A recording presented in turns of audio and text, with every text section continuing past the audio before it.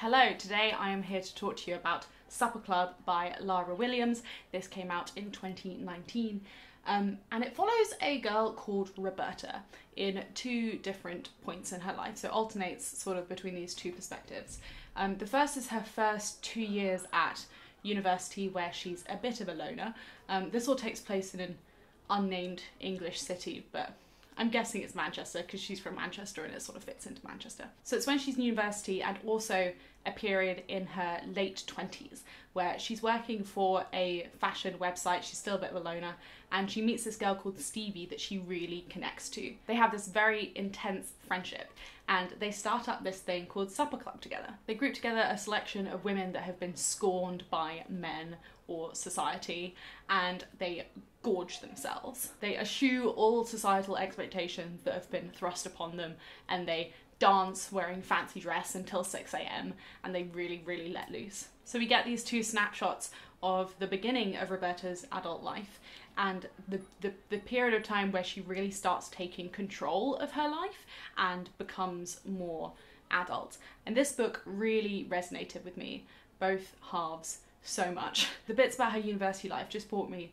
straight back to that scared little girl feeling I had when I moved to London from Bath at the age of 18. I didn't know anyone. I was going to like one of the best art schools in arguably the world, full of really cool, self assured people, and I didn't know what the fuck I was doing. And for the first week, I just didn't have any friends, and I was too afraid to like go to the pub when everyone from the whole halls was going to the pub and just like by a freak accident one of my um one of my flatmates in my hall's flat dragged me to another flat in the same halls for like a, a party at the weekend and um, I just found my crowd there. I totally found my crowd there and I had a great time. But that was my foundation year at art school and after that all my friends split up and moved all over the country for their bachelors and I stayed in London in a similar kind of area and I was suddenly back to having no friends. And I had to go through that whole process again of like trying to put myself out there like against all of my instincts. And fuck it is terrifying. It's so scary and I really feel for Roberta and I really really feel for myself when I was 18 so that half really resonated with me. And the other half about well, a lot of it is about her relationship to men, which we'll get onto in a sec. So, but that resonated with me as well.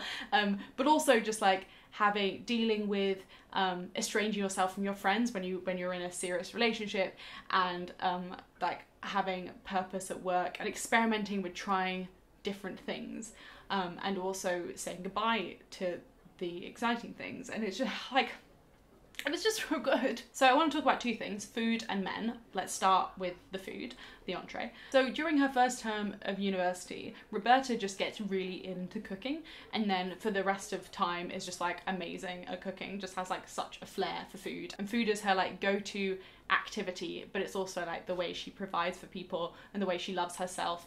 Um, and there were quite, there were like maybe four or five sections in this book where randomly it just spends three pages talking about like the right technique to caramelize onions. And that's the kind of thing that maybe would put off quite a lot of readers. But for me, I just loved it. I was like, oh yes, thanks for ex- explaining to me the best way to make kimchi. I'm like genuinely gonna steal that recipe from this novel.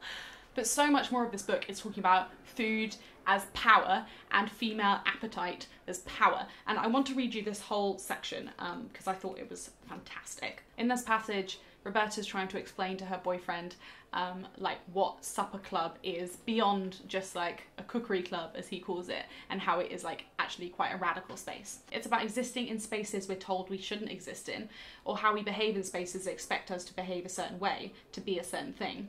And what if we don't want to be that thing? What if we don't want to behave in that way? And then what if actually everywhere is one of those restrictive spaces? What if the whole world is designed to inhibit you and just to exist in it is to break some deep taboo? So what if you give up making yourself smaller all the time, like all the time, and you make yourself bigger instead? And what if to make space for yourself to be bigger, you have to take it? And she's talking about like the radical notion of like food as nutrition as literally like more weight on your body to take up more space and defy those societal expectations, which is so powerful, but it's also in kind of like a semi ironic way. There's a really kind of fun balance in this book between them actually considering it to be like a feminist protest um, but also just being like, I want to have some fun and cook some food and be a bit silly. For me, that's like a really beautiful harmony. It doesn't take itself too seriously, despite how serious maybe that passage I read you was. The main thing that they are protesting mostly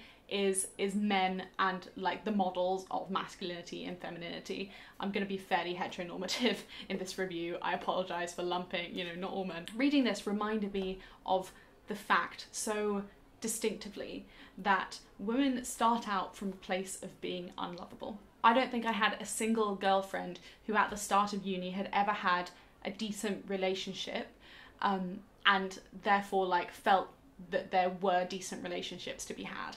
And I think so many, myself included, so many of my girlfriends started university and had a load of shit experience with boys, maybe even pre university, but shit experience with boys. And they break you down and make you think that that is an acceptable way to be treated and that you're never gonna get anything more. And it's so horrific to see women being just broken down into their constituent parts. But the wonderful thing is, and I always I always maintain this even before I had it, is that there are good men out there. There are good men that not only will show you that you are lovable, but that will heal your past wounds. And it's wonderful getting this position from Roberta because we see the breaking down happening while she's at uni, and then in the other narrative, we see her being built back up this bit I'm about to read you, I cried when I read it the first time. I may cry when I read it again now. Um, but it's about like the men having the capacity to build you back up. We lay like spoons for hours before I told him. He stiffened, then loosened, then just held me a little tighter. He always held me tighter after that. And the good men can be wonderful and they can be healing, but they cannot be fixing. Like they can't undo damage that has been done in the past, really. They can't actually eradicate it. And that doesn't like even if you're with the best man in the world, that doesn't mean that you still don't have that female rage, that righteous female rage that you that you had from your past experiences and from all of these like expectations that society weighs on you.